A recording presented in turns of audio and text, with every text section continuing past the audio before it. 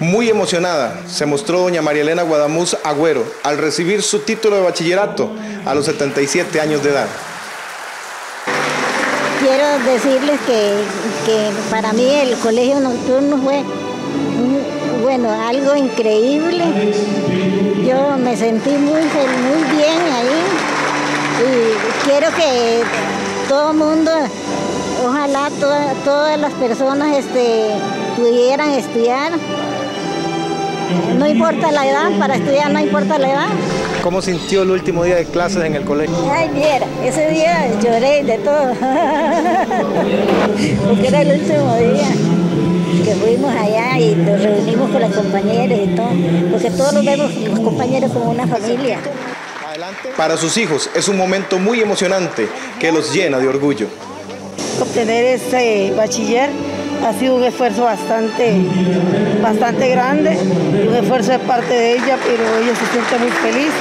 Es una persona muy luchadora, de la cual todos los hijos nos sentimos muy, muy felices y muy orgullosos.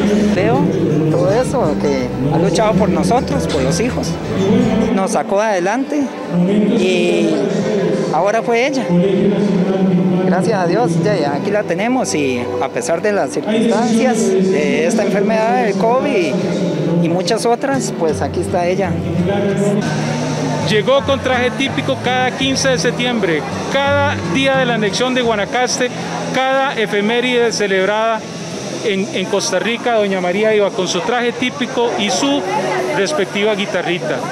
Nos hizo tortillas palmeadas, fue ejemplo en el grupo de estudiantes porque ella siempre estuvo presente. Nunca nos faltó, doña María, nunca faltó un día al colegio. Con seis hijos, 20 nietos y cinco bisnietos. Es todo un orgullo para su familia y también para la comunidad cotobruceña.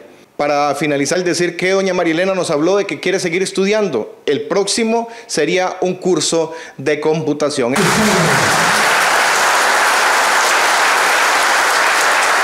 Boom.